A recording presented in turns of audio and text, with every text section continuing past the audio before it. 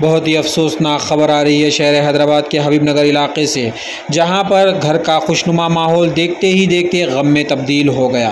तफसीत के मुताबिक Habib Nagar police station limits में एक साल मासूम लड़की फिफ्थ फ्लोर से नीचे गिर गई। ये वाक़ आज सुबह तब पेश आया जब वो लड़की अपने घर की बालकनी में खेल रही थी। उसकी बालकनी की रेलिंग में काफ़ी ज़्यादा जगह होने की वजह से वो लड़की रेलिंग के बीच में से नीचे गिर गई। ये लापरवाही किसकी थी, उनके माँ बाप की, या फिर आजकल जो कमर्शियल कंस्ट्रक्शन चल रहा है, उसकी? क्योंकि एक दो रेलिंग के बीच में इतनी ज़्यादा जगह छोड़ रहे हैं कमर्शियल कंस्ट्रक्शन करने वाले कुछ पैसा बचाने के लिए, उसके चलते क्या ऐसे वाक़े पेश आ रहे हैं? रहे हैं। बहरहाल इसकी इतला जैसे ही A I M I M Nampally M L A Jafar Hussain Meera साहब को मिली। उन्होंने फौरी एरिया कॉरपोरेटर ज़फ़र ख़ान साहब को हिदायत दी कि वो नीलोफर हॉस्पिटल जा, नीलोफर हॉस्पिटल पहुँच उन्होंने तफसलत जानी और उनके घर वालों के गम में शामिल हुए और मीडिया से बात करते हुए तमाम तफसलत बताई।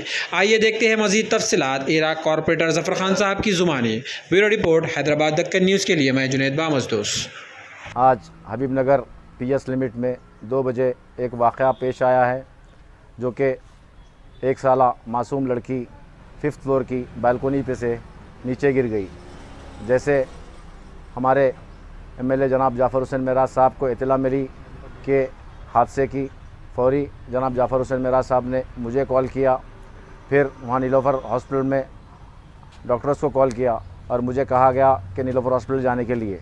जैसे मैं नीलोफर हॉस्पिटल पहुँचा तो वहाँ पहुँचने के बाद वहाँ ख़बर ये मिली कि बच्ची का इंतकाल हो चुका है। तो बच्चे, मासूम बच्ची का वालिद जो है, शिवा नामी लड़का, वो जो है, एक रेडिस में, प्रेस में काम करता है। आगे की कार्रवाई जो भी एमएलए साहब के निगरानी में हुएगी। ये अफसोसनाक वाक़ के घर वालों के साथ, हम भी उनके साथ में, पूरे गम में शामिल हैं।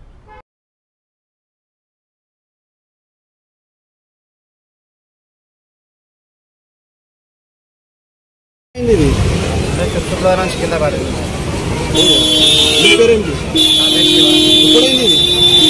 One hour. ఎట్లా అయింది? మీరు చూసారా?